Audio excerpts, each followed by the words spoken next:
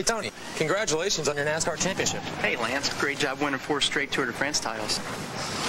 By the way, is it true that you, uh, you know, shave your legs before a race? Sure, makes me faster. Less wind resistance? Actually, no. Shaving your legs stimulates nerve endings under the skin. That activates neurons in the brain, creating a surge of adrenaline. So you're faster. Really?